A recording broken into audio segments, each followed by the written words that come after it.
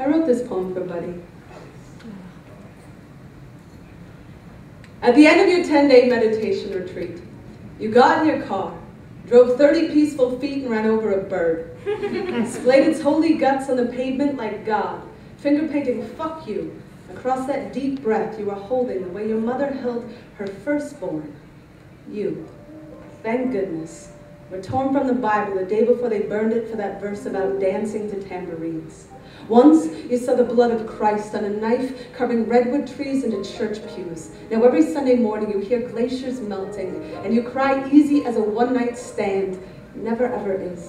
When you see the feathers in your rearview mirror scattering like prayers, searching for a safe place to land.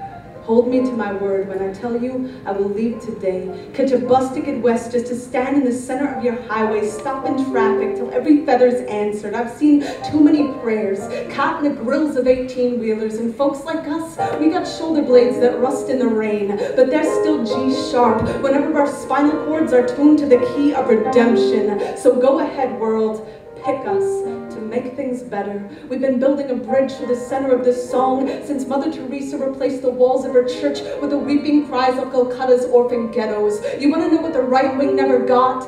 We never questioned the existence of God. What we question is his bulldozer, turning Palestine into a gas chamber. What we question is a manger in Macy's and the sweatshops our children call the North Pole. What we question are the 60 swollen lashes on the back of a woman found guilty of the crime of allowing herself to be brutally raped. What we question is the idea of heaven having gates. Silly.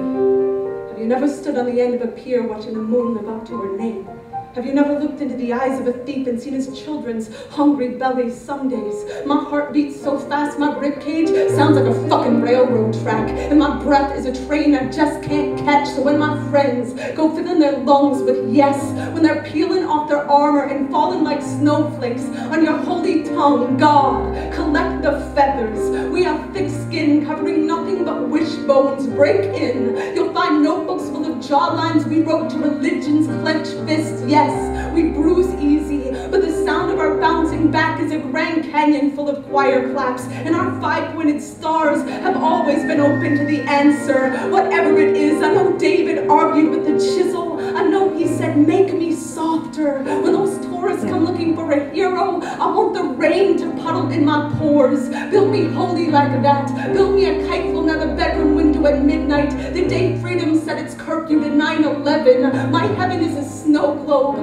The blizzard will always be worth the touch of your hand, shaking me awake like a boy taking deep breaths all the way down to the dents in his shins, like he's building a telephone from a string and two tin cans. He knows God's number by heart. He knows it isn't listed in any book. Look me in the bullseye, and the laws I broke, and the promises I didn't, and the batteries I found when the lights went out, and the prayers I found when the brakes did too. I got this moment, and no idea how it will end, but every second of this life is scripture, and to know that, trust me all, we don't need to be born again.